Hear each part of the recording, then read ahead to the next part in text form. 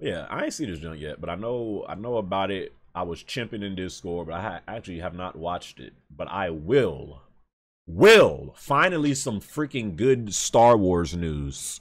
Suckers talk, suckers talking about this trash. Uh, what's that sucker's name? Kenobi, uh, Kenobi Wan Obi. No, no, no, no. I just did it backwards. Obi.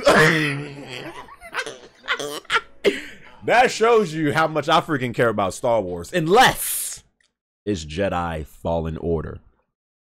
Obi Wan Kenobi, that freaking trash. No, no, no, no, no. This is what matters to me. Let's see. I said it and I meant every freaking word.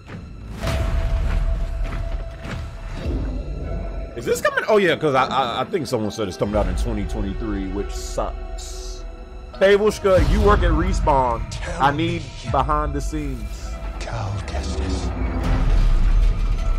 Why lead when they won't follow? Boy, this game gonna be fire. This is the only type of Star Wars drug I'm interested in. Fight.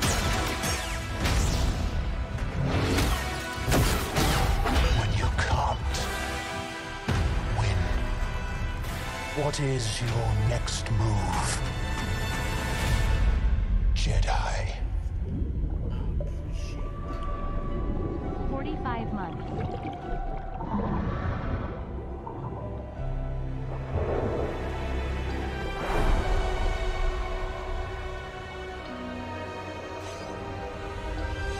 BD! Stand BD!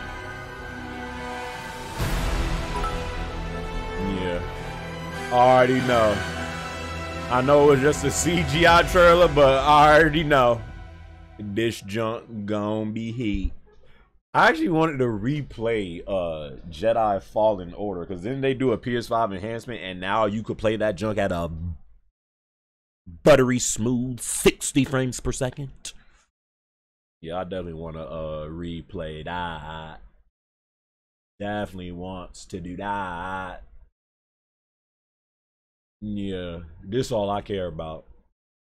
These games, these Jedi uh Fallen Order games.